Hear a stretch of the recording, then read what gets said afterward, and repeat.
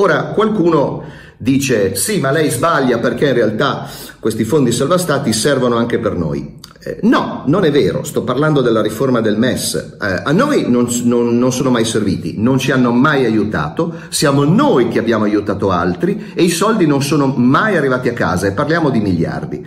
Ma la cosa drammatica è fatta che il governo ci sta dicendo che è una buona cosa per noi. Ma quello che non funziona è il metodo con cui questa cosa è stata fatta, cioè con una sostanziale omertà per, per la quale del Parlamento eh, non c'è stata alcuna informazione al Parlamento. Allora, io come cittadino sono preoccupato non solo dal contenuto che ho già spiegato in precedenti puntate, che è allucinante. Noi mettiamo del denaro in un'operazione, ma non possiamo beneficiarne. Cioè noi siamo brutti e cattivi, quindi dobbiamo essere cornuti e mazziati, mettere il denaro, ma non possiamo portarlo a casa perché non abbiamo i parametri, a meno di ristrutturare il debito. Voi capite che eh, mi sembra di vivere in, uh, in, un film di fantascienza, poi qualche mio lettore mi ha corretto, dice no, è un incubo. Ha ragione lui, è un incubo. Cioè siamo in una società orwelliana nella quale noi non abbiamo nemmeno più il diritto che i nostri rappresentanti in Parlamento siano informati di quello che il governo ha fatto in trattative eh, sovranazionali. Questo è un metodo allucinante, ma soprattutto quello che non mi convince è il fatto che non solo nel passato non ha funzionato, ma non funzionerà mai quella roba lì, cioè serve sostanzialmente per risalvare banche e cioè serve per operazioni di finanza internazionale, non per i cittadini. Oltretutto, se vogliamo tenere sotto controllo spread, borse, mercati, eccetera, eccetera, c'è uno strumento fondamentale che si chiama banca centrale.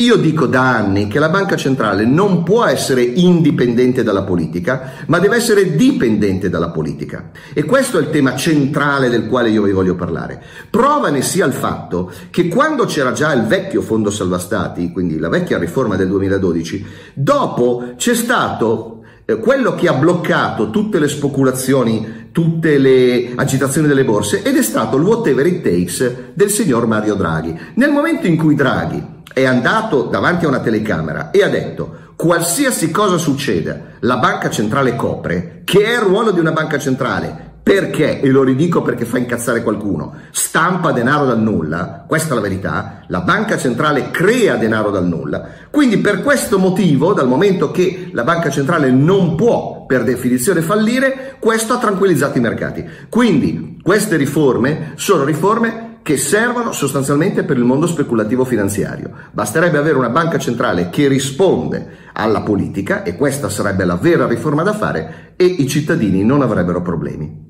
Buona economia umanistica.